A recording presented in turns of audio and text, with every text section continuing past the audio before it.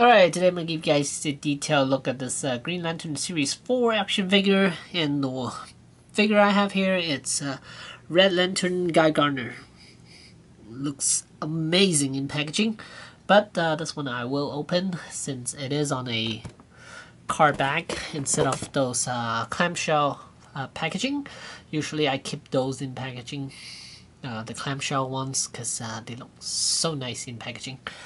Um, here's a little info. You're welcome to pause and read that. Well, actually, I'm just gonna slowly pass through all of them. So, and uh, didn't didn't uh, didn't see uh, Steel, but uh, he doesn't he doesn't look that good actually from this picture.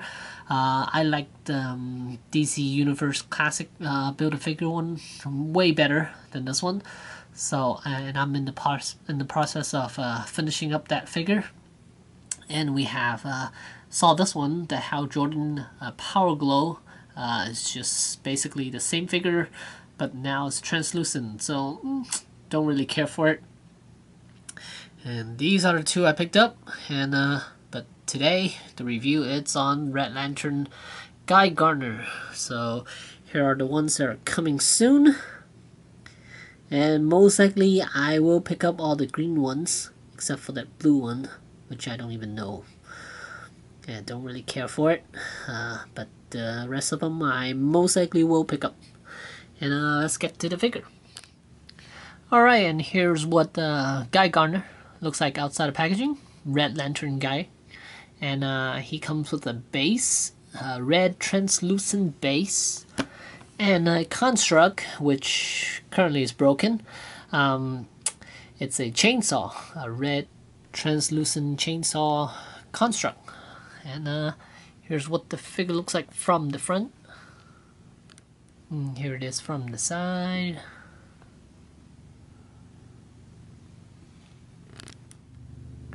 From the back. And the other side.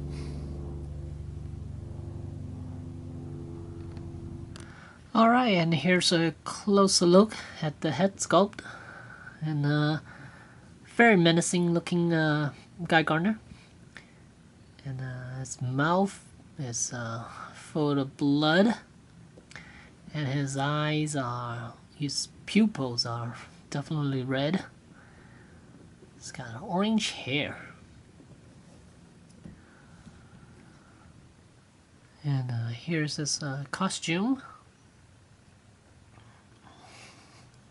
I love that metallic red on these uh, Red Lantern figures. Everything's so shiny, even the boots. And uh, as far as articulation, uh, head is on a ball joint, but uh, it's got very limited movement uh, since these are DC Direct figures.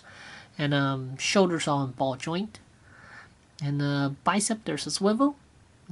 hinge elbow, and uh, swivel wrist. As far as the waist, there's a swivel joint, and uh, swivel hips, hinge knees, and nothing around the ankles.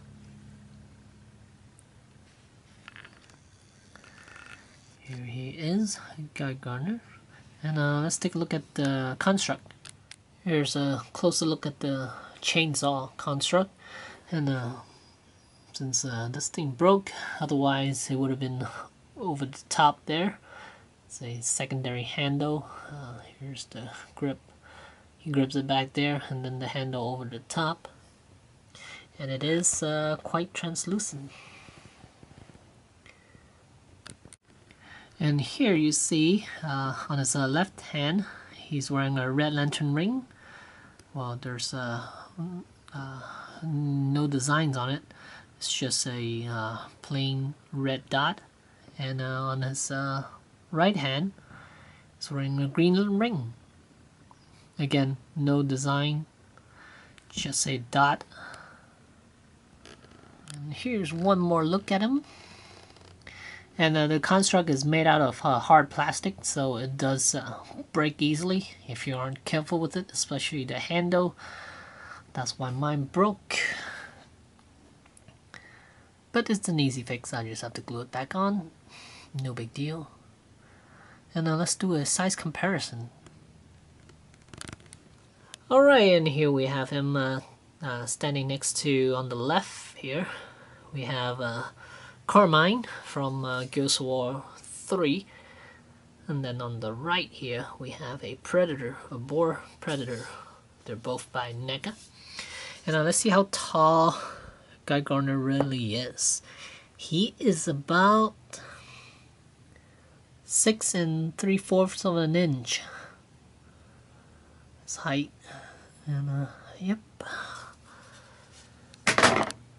And uh, there you go.